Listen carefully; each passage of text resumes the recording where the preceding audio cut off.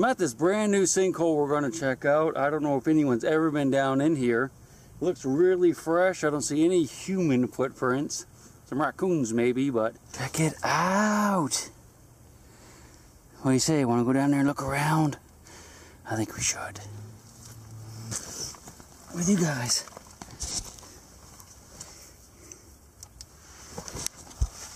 Me.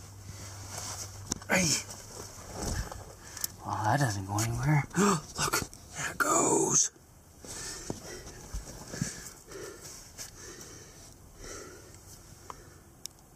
Huh. What do you think? Should we go?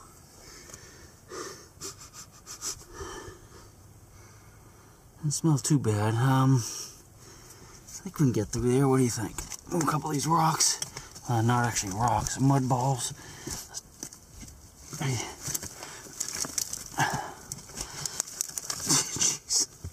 Rolling back in on me.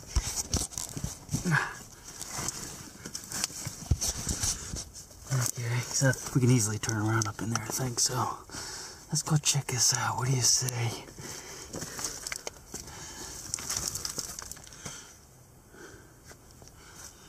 I don't know if we're gonna make this any bigger. I'm gonna turn the camera off for just a minute. Brand new cave. Let's see where the water, ooh, water pours down through. There's uh, raccoon manure. I don't know if I keep going or not.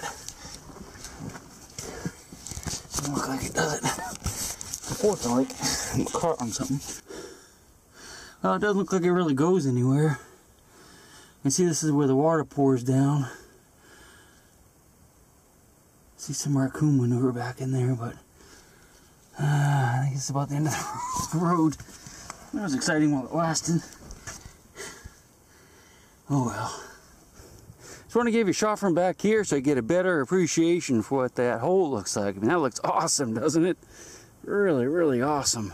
Well, that was kind of a quick trip. Sorry about that. But you never know with these things. You have to check them out. And, uh, you know, we'll come back and maybe this will be washed into a gigantic cavern the next big rain we get. Of course, it may fill it in before then, so who knows. We'll come back after a nice big rain and check it again though. Well, thanks for hanging out with me for this very short video. And we're off to the next adventure. See you tomorrow night.